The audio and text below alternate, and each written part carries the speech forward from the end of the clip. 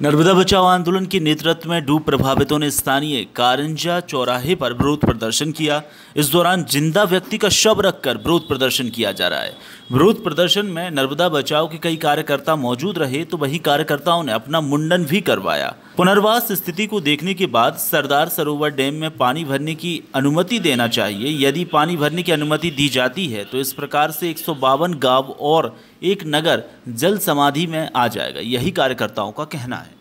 आज बत्तीस हज़ार परिवारों को पुनर्वास करना बाकी है, जिनका पुनर्वास नहीं हुआ है। जिस तरीके से सरकारें गाँव खाली कराने का प्रयास कर रही है, पानी लगातार चढ़ाने का काम कर रही है, जिसमें गुजरात सरकार हो या केंद्र सरकार हो या एनसीए, जिस तरीके से लगातार प्रयास कर रहे पानी चढ़ाने का और लगातार गाँव टापू बनने की जैसी स्थिति में है तो एक सौ एक सौ बानवे गाँव, एक नगर, धर्मपुरी, शहर पूरा डूबेगा।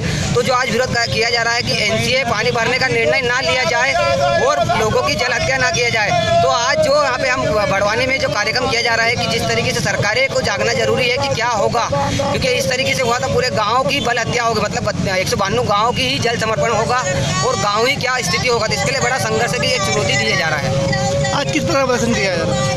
जैसे आज हमारे लिए सरकारें मर चुकी है, इसका एक हमने कार्यक्रम किया गया है वैधानिक कार्यक्रम किया गया है, और कुछ लोग मुंडन भी करवाएँगे सरकार के खिलाफ क्या सरकारें कर रही है। चाहे गुजरात सरकार हो, केंद्र सरकार हो, एनसीए, आपको निर्णय पहले पानी भरने से पहले पूछना चाहिए विस्थापित हो क्या स्थिति होने वाली, क्या पुनर्वास हो गया है क्या? जब ज़ीरो बैलेंस की बात करें तो आज भी छः हज़ार सरकार ही खुद आंकड़ा के बोल रहा है छः हज़ार। आंदोलन का दावा है कि बत्तीस परिवार डूब क्षेत्र में निवासित कर रहे हैं।